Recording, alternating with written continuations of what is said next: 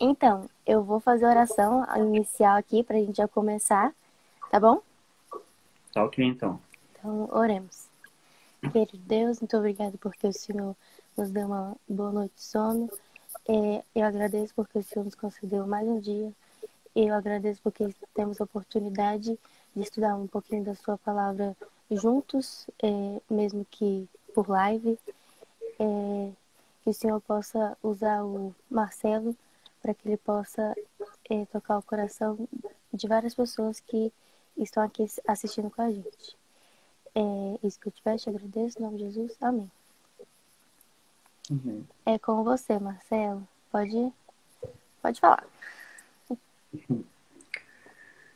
Então, tá bom, vamos começar a ver um pouco sobre esse capítulo 41, né, que era o tema de hoje. É, os israelitas estavam com, uma, com, muita confiança em Deus, estavam com a fé renovada em Deus. É, eles estavam certos de que iam conquistar Canaã.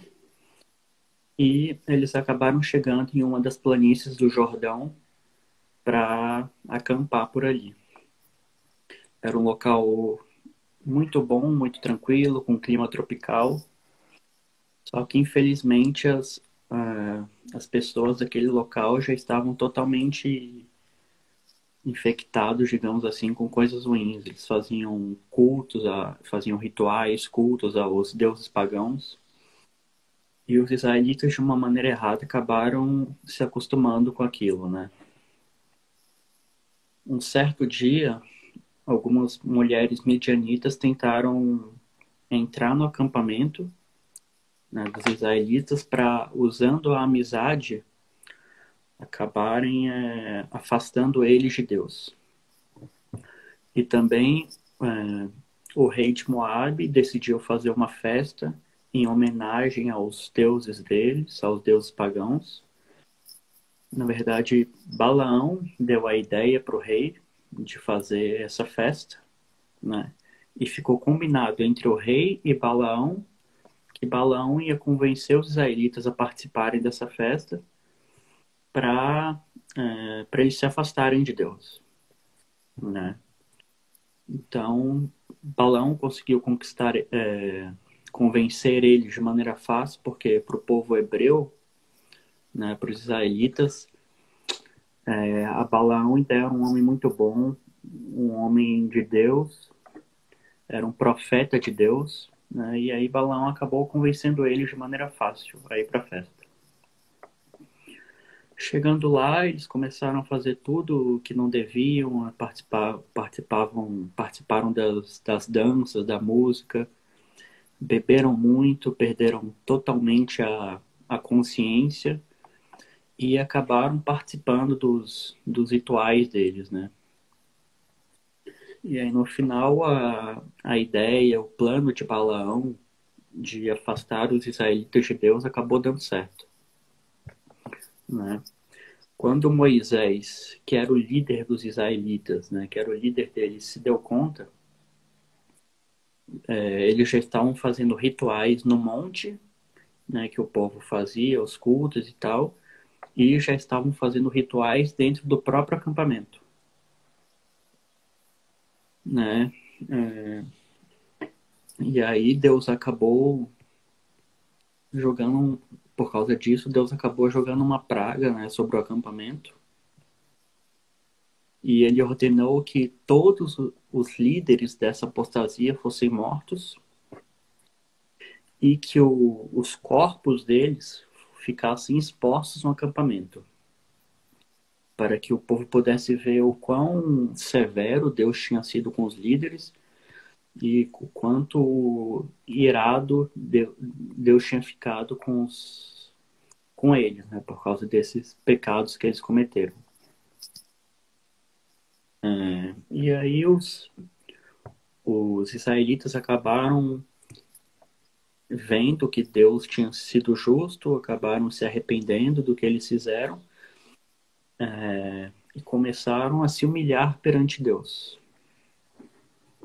Enquanto eles estavam se humilhando perante Deus, Zimri, que era um dos nobres de Israel, chegou no acampamento e foi para a tenda dele junto com uma é, junto com uma prostituta de, de é, midianita, de propósito para de propósito para desafiar Deus, né, para provocar pelo pecado deles, para desafiar Deus com relação a a vingança né, dele, com relação à vingança de Deus.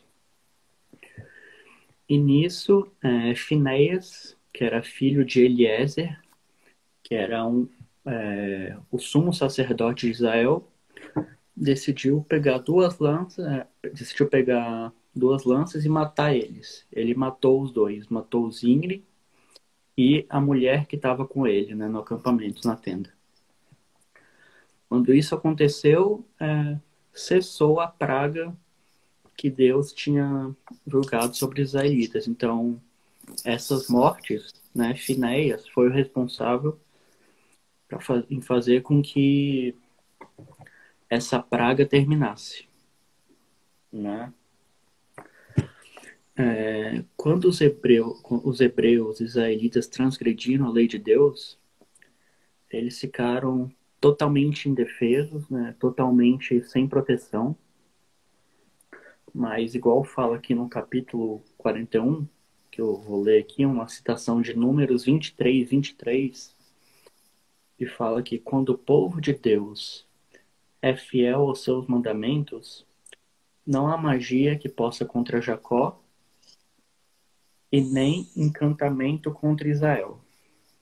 Ou seja, se a gente se mantém, se a gente se mantém firmes nos caminhos de Deus, né, se mantém firmes nos mandamentos dele, é, a gente vai ser muito mais fácil para a gente resistir à tentação de Satanás. Na verdade, vai, é, é a única forma de conseguir resistir à tentação de Satanás.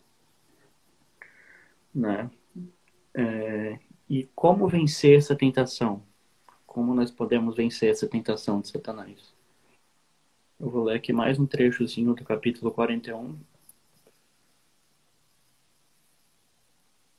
Ah, que fala: O coração deve ser renovado pela graça divina. Todo aquele que busca desenvolver um caráter virtuoso longe da graça de Cristo está construindo uma casa sobre areia movediça. Com certeza ela será destruída em meio às tempestades cruéis da tentação. A oração de Davi deve ser a súplica de toda pessoa. Cria em mim um coração puro, ó Deus, e renova dentro de mim um espírito estável. É, então, além da gente se manter assim, sempre firme em oração, a gente deve sempre fazer a nossa parte e ter cuidado com o que a gente ouve, com o que a gente lê, com que a gente assiste é, e sempre ter cuidado com as amizades também, porque da mesma forma que as mulheres medianitas invadiram o acampamento para usar a amizade e tentar afastar os, os israelitas de Deus, algumas pessoas podem se aproximar da gente também é, com intenção aparentemente boa, usando a amizade para fazer a gente se afastar de Deus também. Né? Então a gente sempre tem que estar tá atento com relação a tudo isso, né? se manter atento com relação às amizades e se, e se manter sempre em constante vigilância, em constante oração para se manter firme, se manter sempre nos, nos caminhos de Deus, né? É, é, era isso que eu tinha para falar. Esse capítulo é mais curto. Esse capítulo é meio uhum. curto, né? Mais curto que os outros e é, era esse o, o resumo do capítulo que eu tinha trago para hoje. Se você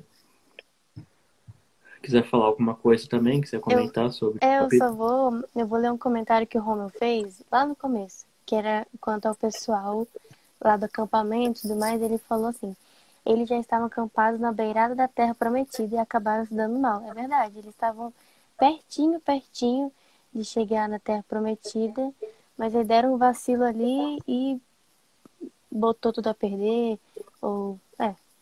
E achei interessante porque nesse capítulo ele abordou alguns temas, né? Essa questão da amizade, né? De que você uhum. ficar atento que algumas amizades elas podem vir para o mal, te desviar e, e te levar para caminhos que você não queria. Uhum. E também fala é, da forma que que Satanás usa é, vários atrativos para a gente, festas, bebidas, essas coisas, e que ele fala que é para a gente tomar muito cuidado com, Deus fala, né?